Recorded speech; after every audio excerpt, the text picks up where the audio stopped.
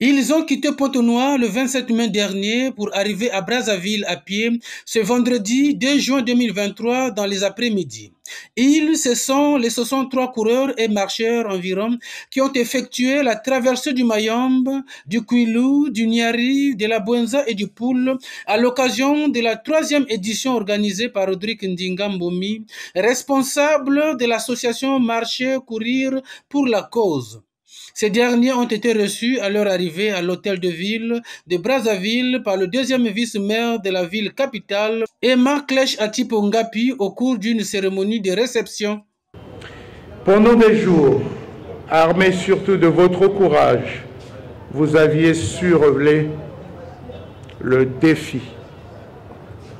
Une prouesse, une performance sportive qui force à la fois respect et admiration. Faut-il le rappeler?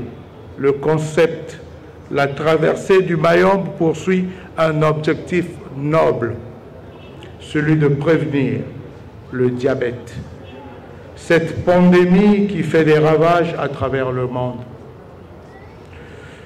Au nom du conseil départemental et municipal de la ville de Brazzaville, à mon nom propre et au nom de tous les conseillers du département de Brazzaville, je reste profondément attaché au rayonnement de cette épreuve longue à la vie traversée, à la traversée du Mayombe.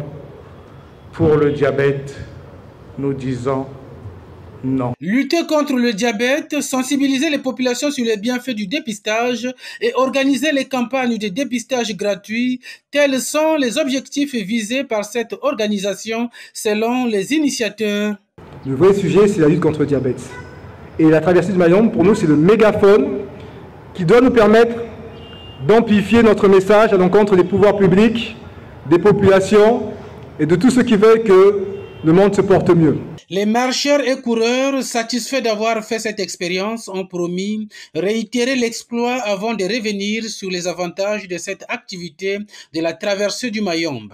En fait, quand on a beaucoup de plaisir à faire les choses et surtout quand on en comprend le sens, qui était de partager la connaissance sur ce qu'est le diabète et sa prévention, alors quand on a un sens, les choses deviennent plus faciles.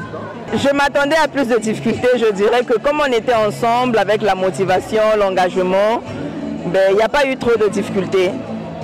C'est vrai qu'il y a eu euh, la montagne de Maseka où on avait 7 km de montée et 7 km de descente. Cette montagne a été très pénible, mais il y avait certains d'entre nous qui nous encourageaient. Bientôt on va arriver, on ne voyait pas ça arriver, mais finalement on est arrivé. C'est sur le thème Un Congo sans diabète que la troisième édition de la traversée du Mayombe a été organisée cette année. Notons qu'une personne sur dix dans le monde souffre du diabète selon les estimations données ici par les organisateurs.